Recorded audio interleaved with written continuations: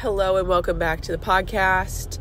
Today, I really want to talk about something that has been going on in um, my crew coaching season. And a lot of this has to do with building a culture and getting results and the kind of results that you want to get. So, I'm really excited to dive into this.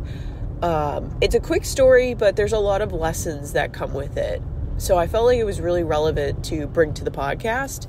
And I'm pretty sure I also brought it to my email list, or if I didn't already, then it is going to be brought to my email list because, like I said, it's a really good story. And I think it comes with a lot of lessons that you can kind of parse out of it. So let's dive right into it. The whole, like, just to give you a little bit of background of what happened at the beginning of this coaching season. Um, I coach crew, crew rowing, you know, Olympic style rowing. And in the fall, it's not necessarily Olympic style where they're right next to each other in lanes. It's something called a head race. It's kind of like cross country rowing, is the best way for my mind to kind of understand it. Where essentially you would like hop on a treadmill and do a time trial, and whoever got the fastest uh, time for the specific distance is whoever wins the race. Okay. So that's how the fall season works. You have a certain distance course. Whoever could do it the fastest is the one who wins the race. And so in the fall season, it typically starts the crew year for the sport. So you have the fall season, then you have the winter season, which is really done indoors because they're very rarely, unless you're living in like Southern California or Texas or Florida, you really don't have um, that great of weather to hop out on the water because you have to have a certain temperature viable conditions for you to get out on the water if it's too cold then you you really shouldn't go out because you know what if you flip you risk the chance of hypothermia anyways all of that being said the important topic that I want to touch on here is that at the beginning of our season the head coach of the team and he's also the director of the program said that when you start to get a team this big, it really matters the kind of culture that you build.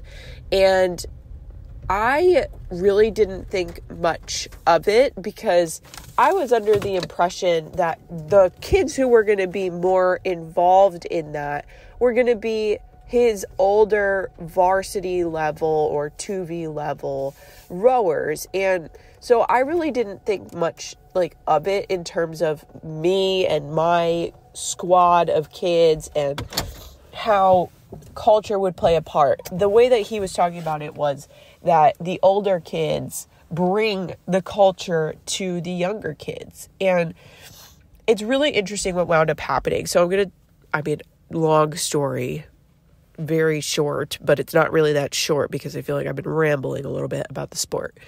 Um, the beginning of this season, I told my kids one of the best things that you can do if you have big goals for yourself and your boat is to get together and do some team bonding. When I was in college, I did a lot of team bonding. It was not necessarily because I was like, oh yeah, we should do this or we should do that. It was because when you spend so much time with people in the boat, then and you're spending so much time at practice, then you start to naturally become friends like that. And you you you find yourself hanging out with them more and more and you become really good friends and you find yourself talking to them about all of these, you know, deep things about yourself and it's really interesting how relationships pan out when you're doing this sport. And so I told them one of the best things that you could do is team bonding. And one of my boats has just taken that advice and run with it. And They've gone to see Barbie all together. Like nine of them went to go see Barbie together in the same place on the same day from different schools, from different regions of the state. They got together and they went to go see Barbie. Like that is to me really cool. They are like sitting together playing games like Cards Against Humanity, like even though it's not really like I don't want to know. they're like spending time together and they're laughing and they're friends and they have each other's back. And that's so important in this sport because you might be eight different people, but you are in one boat together. And it became such a big distinction at yesterday's practice because I am in charge of typically two, on average two, but sometimes I'm in charge of three boats. And the second boat hasn't been performing nearly as well as the first. So they they're like, well, we want to do better. and We want to get into this top boat and we want to get onto varsity all these things.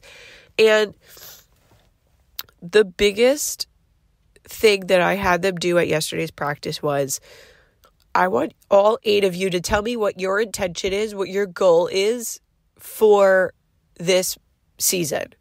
And I got eight different answers in that boat. If I were to ask that other boat, there's one answer amongst the eight of them. But in this second boat, it's one boat, but there's eight different answers. And so I asked them, how many boats are there right now? As in like how many how many boats are you rowing? Okay, I should have said it like that, but I said it the other way yesterday. And they're like, "Well, there are a lot of boats." I was like, "No, there really aren't." And they're like, "What do you mean?" I was like, "There are 8 of you, and how many boats are you in?" They're like, "Oh, well, we're in one boat." And I said, "Great. So you have 8 different goals in one boat." And they're like, "Yep." And I said, "Where do you think this boat is going to go?" And they were like, no place. And I said, that is correct.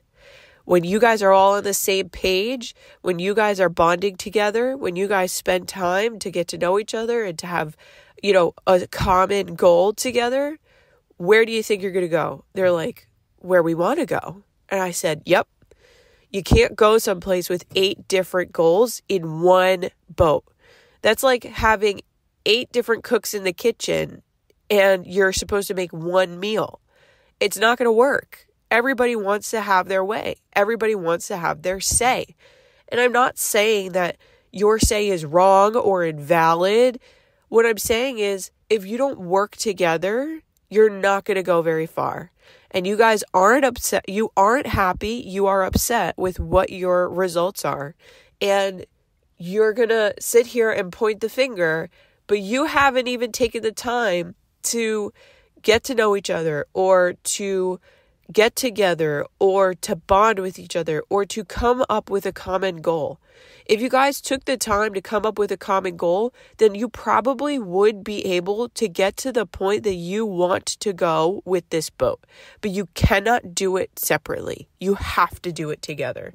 And to me, it brings up a couple, it brings up a lot of different things. Like, there really truly is something to say about teamwork. There really truly is something to say about working together. And there really truly is something to bring and to say when, you know, you have a common goal. And that works with crews and athletes, but that also works, guess where else?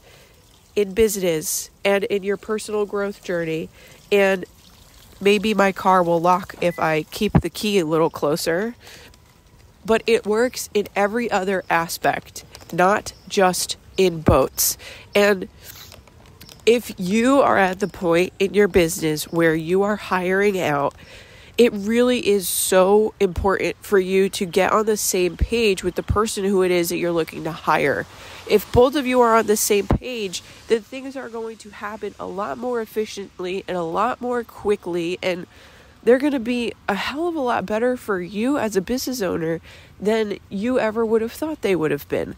And I think it's really important because that is how you build a culture when you all get on the same page. Because i've had those kids from the like varsity and the second varsity squads come over to me and say how is it possible that your kids are best friends and they're still competing for each other's seats? And i said because i told them to bond. That was the most important that was the first thing that i said.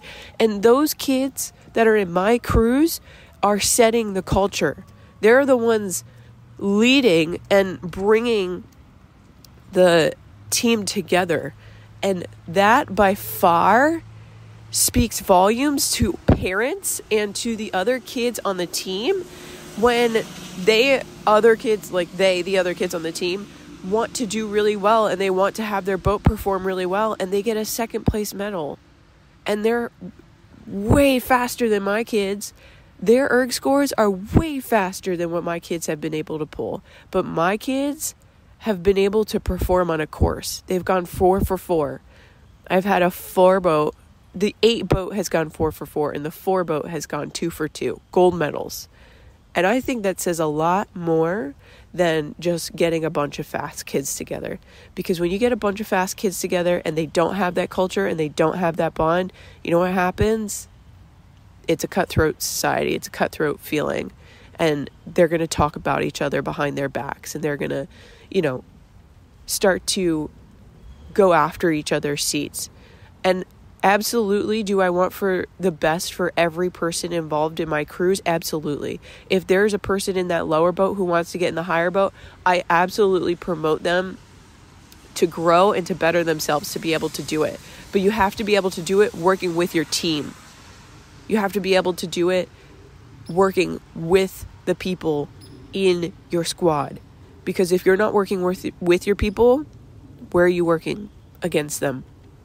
So I thought it was a really interesting and cool story to bring to the podcast because there are a lot of lessons that come out of it. You know, like who's to say that just because you want a specific culture to be built, you aren't maybe necessarily involved or as involved as the other people or you know just because you say you want one thing doesn't mean that doing it is the same thing bringing that culture to fruition and talking about it are two totally separate, different topics. So I wanted to bring that lesson and that story and that experience to the podcast because you could probably take something out of it even for your business and even for your life, even for your personal development journey. So, all I ask is that if you found this valuable, you share this podcast with a friend, you share it on social media, tag me in it with your takeaways.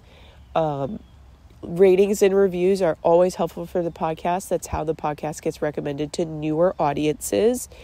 And I would be so grateful for your review and for you to share it with your friends. I want to thank you for tuning in always because I really do appreciate you listening.